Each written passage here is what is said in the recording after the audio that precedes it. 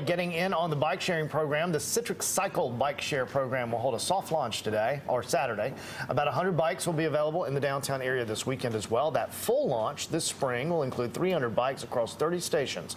Prices range from $2 for single trips to $85 for an annual membership.